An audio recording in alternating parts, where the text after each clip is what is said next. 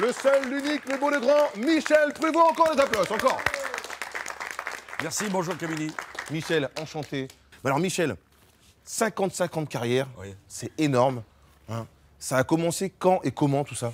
Bah, ça a commencé euh, à l'âge de 4 ans. Alors je suis né à Rue, hein, pas loin d'ici, à 10 km. Comme Johnny, qui lui est né dans la rue. C'est un point commun. c'est un point commun. Et donc, euh, voilà, euh, à l'âge de 4 ans, mon père, qui était professeur d'accordéon, m'a amené un petit accordéon. J'ai commencé à jouer. Et ma mère tenait un café euh, à Machy, donc entre Rue et Crécy. Donc, je jouais pour les clients. Et à l'âge de 6-7 ans, j'ai commencé à savoir lire. Donc là, j'ai appris le solfège. Et après, j'ai commencé à faire les concours d'accordéon, nationaux, internationaux. Voilà. Jusqu'au moment où je suis rentré dans l'orchestre de mon père à l'âge de 13 ans.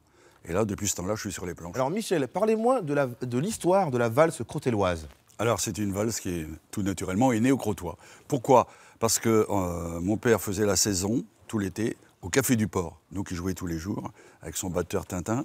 Et il y avait quelqu'un ici, on l'appelle le poète crotelois, Henri Douady. Et donc à l'époque c'était quoi? C'était les 45 On tours. va dire même des 30 cm.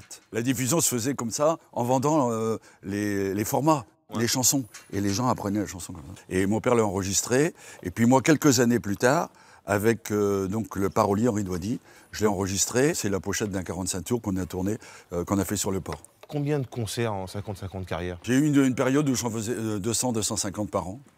Alors là, en 55 ans, ça, ça fait du monde. Il y a beaucoup, beaucoup. de couples qui se sont mariés euh, sur, euh, dans mes balles. Donc un accordéon et en même temps Cupidon quoi. Vous, vous êtes là, vous formez des couples Oui, dans, dans les thés dansants et dans, dans les concerts. Les couples se forment et certains se déforment, voire même se gondolent à Venise. Et alors du coup, donc ça, ça fonctionne comment quand on apprend le- vraiment l'accor- l'accordéon? C'est partition, c'est comme, euh, comme au piano. on- Ah oui. D'abord solfège, ensuite partition Voilà. et ensuite on. Il y a, euh, allez, on va dire deux ans de solfège, hein, quel sol, quel fa. Et après, on commence avec les méthodes d'accordéon à travailler, les gammes. euh, Et au bout d'un moment, bah, quand ça, va, ça marche bien, les concours.